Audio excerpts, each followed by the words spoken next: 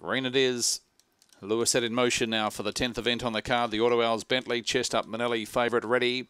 Racing. Chestnut Manelli dwelt at the start, showing early speed in the middle was Major Pursuit, driving across Bohemian Fun. Getting up around the outside was Chestnut Manelli, went very wide, Stone Cold Ollie underneath of it. Up on the fence, Shamila and Mar Vista sees them all down the back. Major Pursuit, the leader, out by a length and a half. Shamila gets underneath of Stone Cold Ollie and then followed in turn by Bohemian Fun. Chestnut Manelli runs on, but still three lengths off the leader, who is Major Pursuit on the home corner. Up on the inside, Shamila bump with it and Stone Cold Ollie over the top. Stone Cold Cold Ollie wins by a length. Flashing late Chestnut Manelli, major pursuit. I'd say he's held third. In behind them was uh, pulling up quickly across the line.